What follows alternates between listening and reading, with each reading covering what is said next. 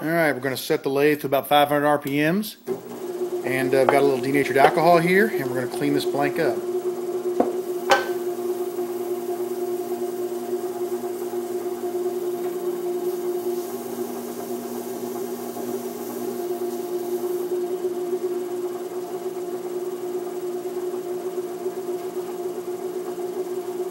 Give it a few seconds for the uh, alcohol to evaporate.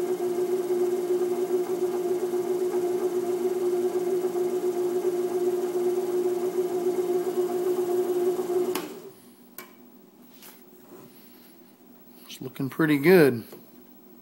I like the fact that a lot of the weathering, uh, this pin is fatter, so a lot of the weathering, we were able to keep that on the uh, pin, and it really almost gives it a spalted look, really a beautiful effect. Let's uh, put the top back on this denatured alcohol so we don't knock it over. And I'm going to grab some of this uh, Triple E Ultra Shine wax. And I'm going to put that on there. Once again, keeping the lathe at about 500 RPMs. Get a liberal amount of this uh, wax and start applying it. Nice thing about this wax is uh, it has an abrasive in it. Um, so basically it, it is almost like sanding farther. I sand to 600, which I believe is like sanding to 1200 with this wax. So it really does a nice job. Let's get a clean piece here and do some buffing, get some of this wax off of here. When you're taking the wax off, it's, it's a good idea to frequently move the paper to a clean section of the paper. I'm going to go ahead and speed the lathe up. Uh, somewhere between about 14 1500 RPMs. I'm building some some friction and just basically melting this wax letting it do it letting it do its job.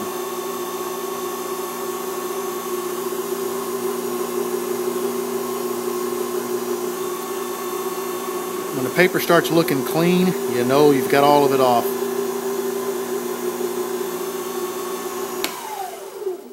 All right.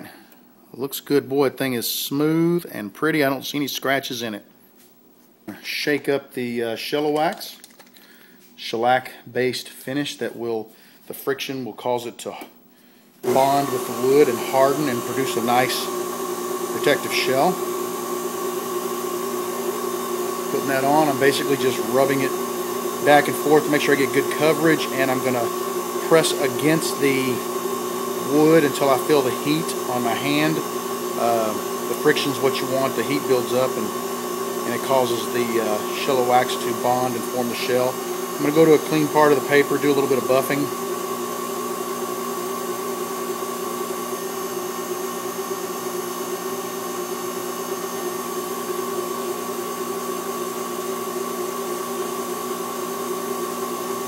Okay, I'm going to let this cool for a few minutes. I'm going to apply a second coat and then I'll come back and we'll put the pin together. I had accidentally put this pin together before I turned the camera on. So let me lay the two pins together and uh, you can see both pins are absolutely beautiful and I really think Sally and Don are going to like them and I think these will be some nice keepsakes.